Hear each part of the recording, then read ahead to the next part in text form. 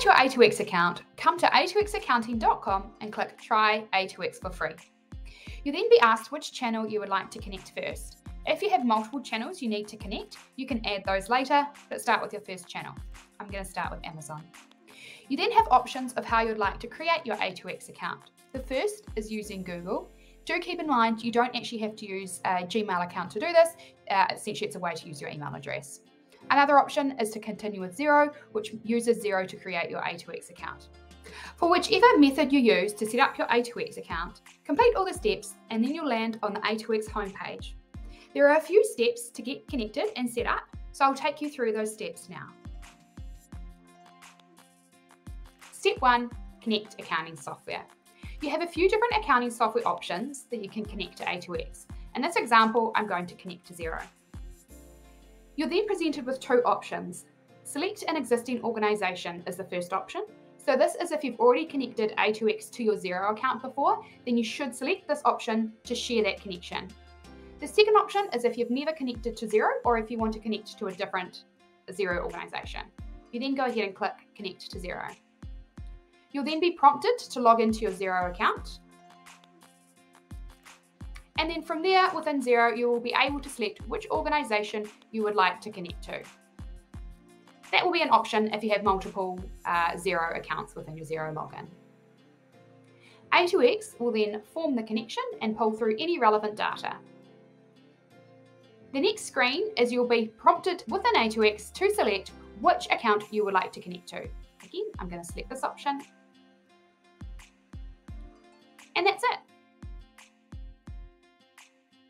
The next step is to connect your e-commerce channel. In this case, I'm going to connect Amazon.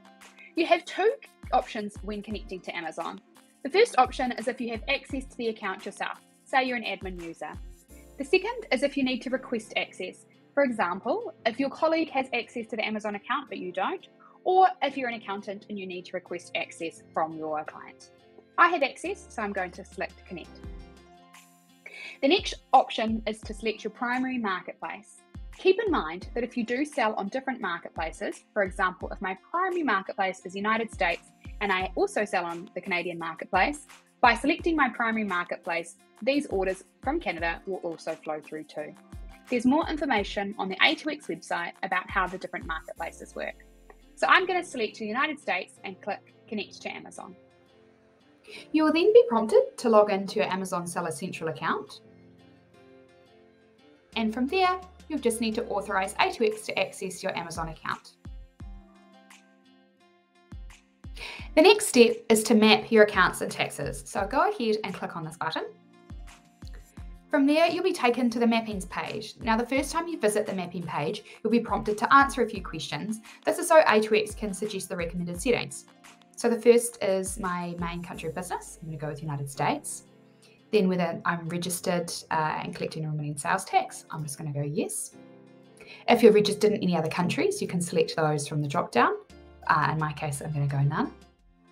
I'm then presented with two options. So I can either go with the assisted setup, which is where A2X will create the default accounts for me, map all of my transaction types, and also apply the relevant tax rate if that's applicable to my setup. The other option is the custom setup, which essentially means you map your own accounts and taxes. If you are going to go with this option, you could instead start with the assisted setup uh, to do a lot of the work and then customize it from there. But you've really got two options. So I'm going to go ahead with the assisted setup and click review. I then see a list of the accounts that are being created for me. So all of these Amazon accounts will be created in my chart of accounts within Xero. Awesome. So there I'm taken to this page here and I can click view settlements, which will take me back to the main home page, ready to review uh, my first settlement and get ready to send it through to Xero. The final step is to post and reconcile. So I'll go ahead and view my settlements. Essentially what I'm going to see here is a list of all of the data that A2X has pulled through and I can see it's been grouped into settlements. So I'll click on this top one to review it. Here, if I click on this drop down, I'll see the entry that A2X is going to send through to my accounting software, uh, through to Xero. So I can see here that this amount will have been deposited into my bank account, the 803.91. And here I can see how A2X has broken down all of these different transaction types for me. And I can also see the value and I can see the account that that will be posted through to within my Xero. So I can click send to Xero to post this entry through. The next step is to log into your Xero to reconcile the payout. So I've logged into my Xero and I've come to my, the bank accounts and I've come to the bank account that I received my Amazon deposits from. So I've come into the banking screen and have found the deposit from Amazon. I can see here the 803.91 and I can also see the entry through from A2X here. So all I need to do is click OK and that payment is reconciled. A2X has a bunch of support articles to help you get set up. And if you get stuck, you can reach out to the team via the chat function at the bottom of the screen.